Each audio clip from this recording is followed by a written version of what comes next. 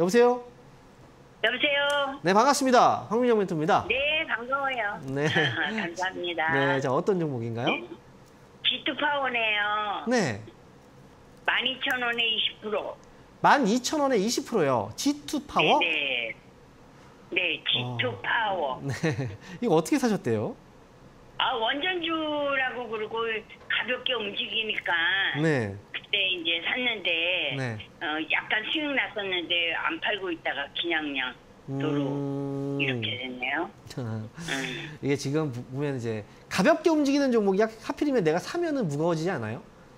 네, 맞아요. 지금 많이 네. 무거워졌네요. 네, 맞아요. 이게 지금 원전주들이 예- 뭐 예전에 올라갈 때는 가볍게 막 올라가긴 했어요. 근데 그거는 정책 네. 정책과 딱 맞물렸을 때 그때는 막 네. 쉽게 쉽게 올라갔는데 그 다음에 어, 꼭 이제 내가 타이밍을 잡을 때는 이 힘이 좀 많이 빠져요. 그래서 예전에 어? 예전에 거래 근데 우리가 이걸 봐야 돼요. 이 거래량 되게 중요하다고 많이 얘기 많이 하죠. 그렇죠. 네. 그런데 네. 자 앞에서 지난 4월달에 올라갈 때 주가가 올라갈 때 이 거래가 어떻게 되는지 한번 보세요. 자 확인해 보면은 네. 거래가 굉장히 많거든요. 네. 그죠? 화면 화면 잠깐 볼게요. 화면을 보면은 네. G2 파워 아래에 있을 때 4월 달에 거래가 굉장히 많은 네. 걸 우리가 확인할 수 있고요. 이때 이때 보이시죠? 노란색으로 표시해 놨죠? 네, 네. 그런데 최근에 네. 올라갈 때는 거래가 어때요? 올라갈 때마다 거래가 별로 없죠. 그렇죠? 네. 비교했을 때. 그래서 우리가 이 그 시청자분께서도 제가 볼때 어, 4월에 사신 게 아니라 그 다음에 사신 거잖아요. 그렇죠? 그 다음에도 거래가 많이 들어오는지를 확인하고 사셔야 돼요.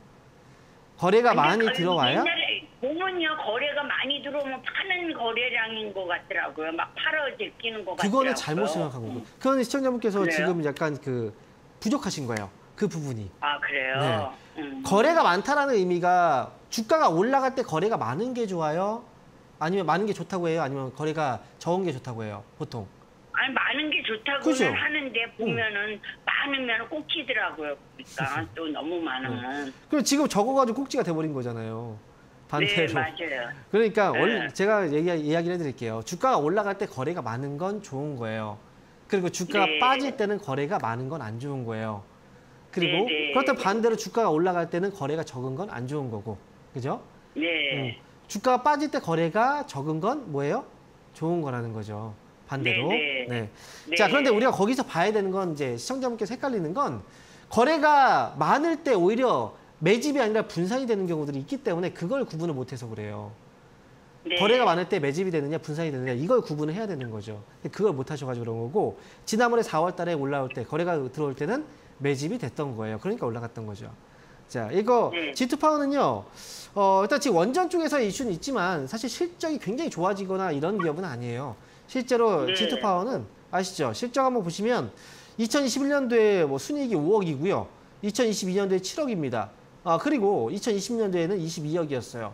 실적은 안 좋은데 주가가 올라가 버린 거죠. 재료로 인해서. 그래서 이 종목은 올라올 때 팔고 나와야 되는 거고 어, 많은 금액이 들어가서도 안 되는 거예요, 사실은. 그래서 아직은 시세가 어, 아직 그 어, 이제 완전히 물량들이 빠져 있는 자리는 아니기 때문에 여기서는 저는 대응 자리를 말씀드릴게요. 9,500원 네. 손절가 잡고요. 반등 나오면 12,500원입니다. 여기서 정리하고 나오는 거예요. 어, 이렇게 아, 잡고 네. 보시면 됩니다. 아시겠죠? 아 그렇게까지만이라도 가지면 좋겠네. 어, 근데 손절가도 제가 잡아드렸잖아요. 떨어지면 네. 어쩔 수 없어요. 이거는 정리하고 그 밑에서 뭐 네. 다시 접근하든 일단 한 번은 정리를 하셔야 돼요. 손절가를 터치하게 된다면. 네. 자, 이렇게 말씀드릴게요. 네 감사합니다. 네.